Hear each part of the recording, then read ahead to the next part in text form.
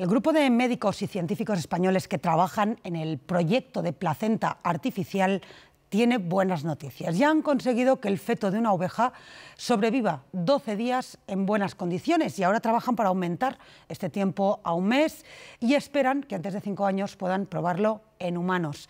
Saludamos al doctor Eduard Gratacós, director del BCN Natal y líder del proyecto Caixa Research Placenta Artificial. Muy buenas tardes y enhorabuena. Hola, muy buenas tardes. Muchas gracias. Bueno, ¿cuál es el objetivo de este proyecto? Bueno, este, este proyecto, como usted ha dicho, es un proyecto muy singular que está financiado con, con 7 millones y medio por la Fundación La Caixa.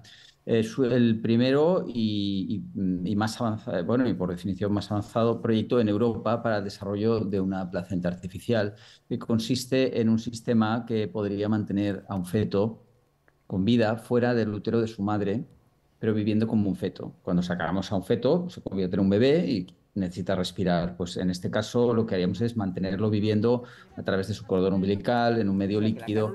¿Y esto qué utilidad tendría? Pues nos permitiría ofrecer una oportunidad a los bebés extremadamente prematuros, los prematuros por debajo de seis meses de embarazo que a pesar de los grandes avances tecnológicos y avances en prematuros también, pues en este grupo, eh, que es pequeño, pero que sumaría unos 25.000 casos al año en Europa, pues realmente los resultados todavía son malos por esta gran inmadurez y poder mantenerlos en una placenta artificial va a representar pues, un cambio radical en las perspectivas. Hablábamos de esa buena noticia, que es que han conseguido mantener el feto de una oveja durante 12 días. Eh, sí, es así, puede parecer poco, pero cuando uno empieza lo que cuesta es conseguir cinco minutos porque es una situación muy antinatural, es completamente ir en contra de la naturaleza y se necesita engañar a muchos de los mecanismos que tiene la biología cuando nacemos para hacerle ver al feto que no ha nacido todavía. 12 eh, días es un éxito muy grande, solo dos grupos en el mundo lo hemos conseguido pasar de ese, de ese límite y por tanto pues estamos muy satisfechos porque esto, pues, eh, como usted ha dicho, pues nos permite apuntar ya a tres, cuatro semanas de supervivencia y plantear en pocos años unos primeros estudios en gestación humana. Cuando hablamos de una placenta artificial, ¿de qué está hecha una placenta artificial? Mm, claro, es un concepto un poco complejo porque la mayoría de la gente no sabe ni lo que es la placenta. La placenta es un órgano que todos hemos tenido antes de nacer, cualquier ser humano lo ha tenido y cualquier mamífero y lo perdimos al nacer, pero era nuestro pulmón y nuestro riñón y nuestro estómago cuando vivíamos dentro de nuestra madre, conectados a través del cordón umbilical y es pues un pedazo, un órgano, un pedazo de carne que está pues, realmente adherido a la mamá y de ahí el feto obtiene todos sus alimentos, su oxígeno. Entonces, eh, eso hay que reemplazarlo con, un, con una placenta artificial eh, y es un sistema por el cual tenemos que hacer circular sangre, tenemos que hacer que esa sangre obtenga eh, oxígeno, que obtenga alimentos, que obtenga hormonas que necesita para desarrollarse ¿Y de qué está hecho? Pues está hecho de materiales plásticos biocompatibles, de membranas em, que permiten el paso de oxígeno, en fin, de toda una serie de materiales con los que se construye pues, un aparato de circulación extracorpórea, o cuando a usted le ponen un, pues, un suero, o cuando le sacan un, un poquito de sangre, pues todos esos materiales que utilizamos, pues de eso está hecha. Eh, el objetivo, eh, mm, decíamos, es que en unos cinco años eso se pueda aplicar en humanos. De momento están trabajando con ovejas. Exactamente, de momento es un proyecto en ovejas. Eh, se incorporará alguna especie más, posiblemente el cerdo, porque es importante demostrar que es útil en diferentes especies antes de pasar al humano. Y nuestro objetivo sería en dos, tres años estar en disposición de plantear los primeros estudios y eso pues lleva un tiempo importante.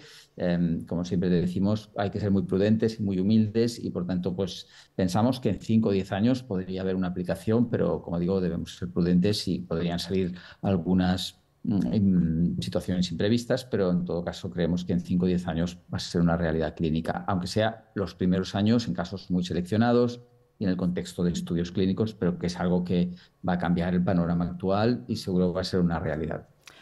Em, la aplicación sería eh, conseguir aumentar la supervivencia de los prematuros, pero ¿se podría aplicar a otras cosas cuando se consiga? Sí, exactamente. En una primera instancia, la placenta se aplicaría en estos prematuros, digamos, ultra prematuros, ¿eh? que son una proporción, como le digo, muy pequeña, pero que si sumamos, pues cuentan miles de casos en cada, en cada país. Em, en, aplicaciones posteriores, si tuviese éxito, se aplicaría, nos permitiría tener al bebé en una situación en la que sería accesible. ¿eh?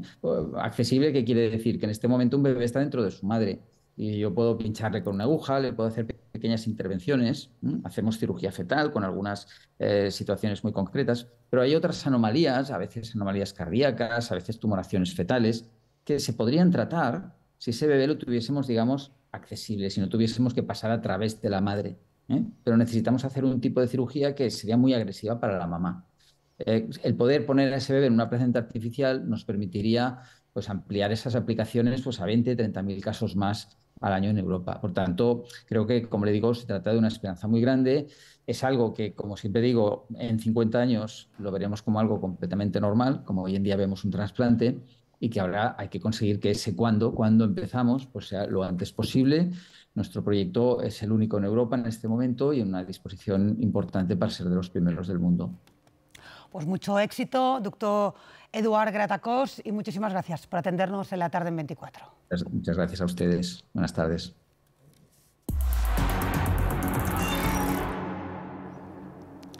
Y vamos con los deportes. Seguimos de celebración porque la selección española se proclamó ayer